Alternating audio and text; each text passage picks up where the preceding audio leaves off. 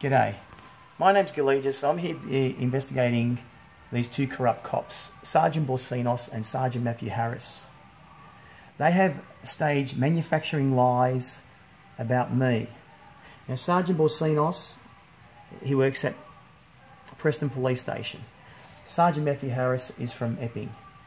They are the most corrupted, crooked, bent cops. And what's happening now, the Superintendent Tim Hansen is investigating these two corrupt crooked bent cops.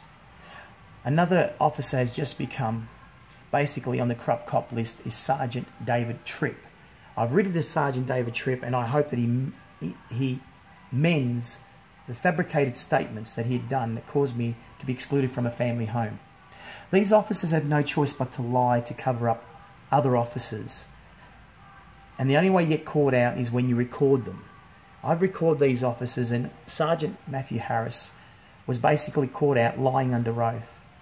Professional standards does not do anything to protect you as an innocent person, nor does IBAC.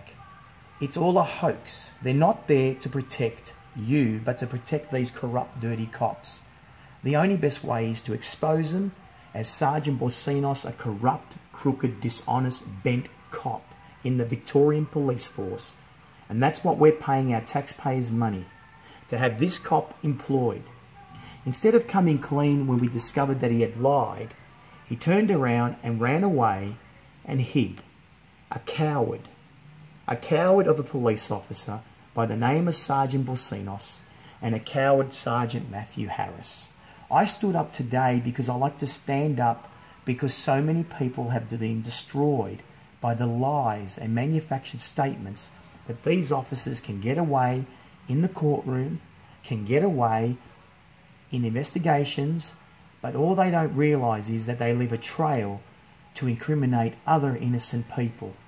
And along these corrupt cops had other cops become corrupt because they tried to cover up for them. I'm now proud to say that I could come a long way and be educated to know that the Victorian Police Force, if they could get out of a lie they will do whatever they can to do whatever they can to punish you. The good news is that I'm teaching everybody just call Sergeant Boursinos a corrupt cop. Any cop that manufactures lies is breaching their law, is breaching their conduct. Officers don't get paid to lie. They get paid to do an honest job. But these two officers you can't count on because they're corrupt they're cowards when they walk away from the truth.